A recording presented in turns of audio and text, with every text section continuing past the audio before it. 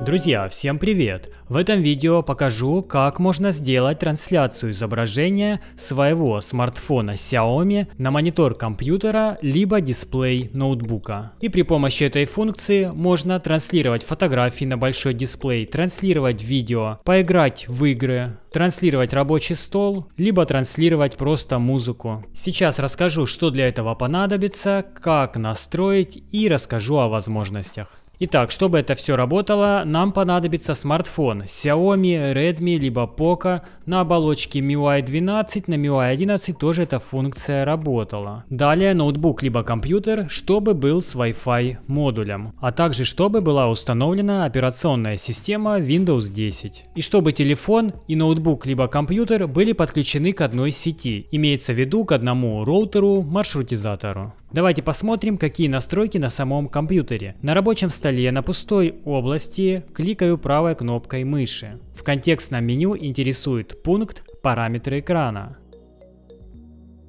И далее в левом блоке меня интересует опция проецирования на компьютер. И справа у меня отображаются настройки. Обратите внимание, что у меня здесь отображается предупреждение, что на этом устройстве могут быть проблемы с отображением. По-хорошему этого сообщения не должно быть. У меня просто старая сетевая карта, которая не поддерживает все технологии. Но я уже предварительно тестировал, все равно работает. Поэтому если вдруг не работает, то возможно проблема в Wi-Fi адаптере. Возможно он устарел и не поддерживает новых технологий. Давайте посмотрим, какие есть опции. Доступно везде в защищенных сетях. Доступно просто везде и всегда отключено. Если установить всегда отключено, то трансляция работать не будет. Я выставлю доступно везде в защищенных сетях. Следующий параметр – запрос проецирования на этот компьютер. Если установлено при каждом подключении, то тогда на компьютере нужно будет каждый раз при подключении делать подтверждение. Если выбрать только в первый раз, то при первом подключении необходимо будет подтвердить на компьютере. Но при следующей трансляции подтверждать уже не нужно. И также для подключения можно задать пин-код. При подключении будет отображаться пин-код на компьютере, который нужно будет вводить в телефоне, чтобы пошла трансляция. Я сейчас, что протестировать, сделаю без пин-кода никогда выставлю. Ну и следующий параметр. Этот компьютер можно обнаружить для проецирования только когда он подключен к источнику питания. Это актуально для ноутбуков. И ниже отображается имя компьютера, которое мы будем искать в телефоне. У меня вот PC.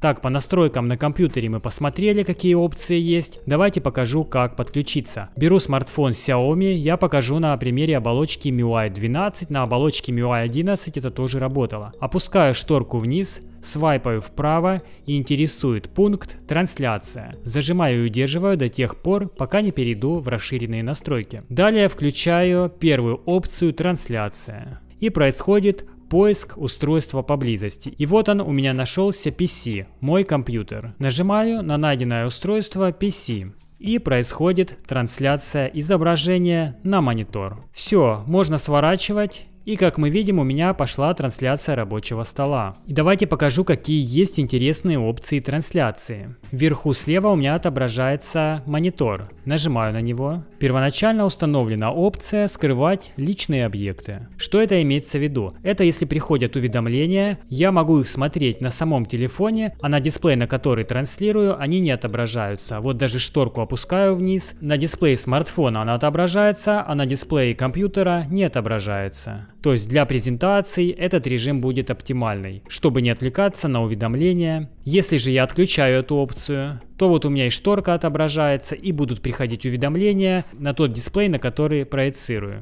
Следующая опция с выключенным экраном. Экран на смартфоне у меня гаснет, но трансляция на монитор продолжает идти. Это можно применить, допустим, смотрим видео и зачем, чтобы оно транслировалось еще и на дисплее смартфона. Таким образом у нас дисплей не работает, а только идет трансляция на внешний экран. Тем самым мы экономим заряд батареи смартфона. И следующая опция свернуть окно. Допустим, открываю какое-то видео, давайте допустим на YouTube. Все, YouTube у меня свернулся, видео транслируется на монитор компьютера. На экране смартфона из видео у меня лишь вот такая вот стрелочка. Я могу параллельно трансляции на смартфоне работать. То есть общаться в мессенджере или какими-то приложениями пользоваться. Но когда мне необходимо вернуться в обычный режим, нажимаю на стрелочку, после на миниатюру и разворачиваю видео на весь экран смартфона. И вот таким вот образом можно делать очень легко трансляцию на компьютер либо ноутбук. А и да, звук транслируется на колонки компьютера. Таким образом можно запустить музыкальный плеер и слушать музыку на компьютере с телефона. Как остановить трансляцию? Опять вверху слева нажимаю на монитор и нажимаю кнопку остановить. Трансляция завершается.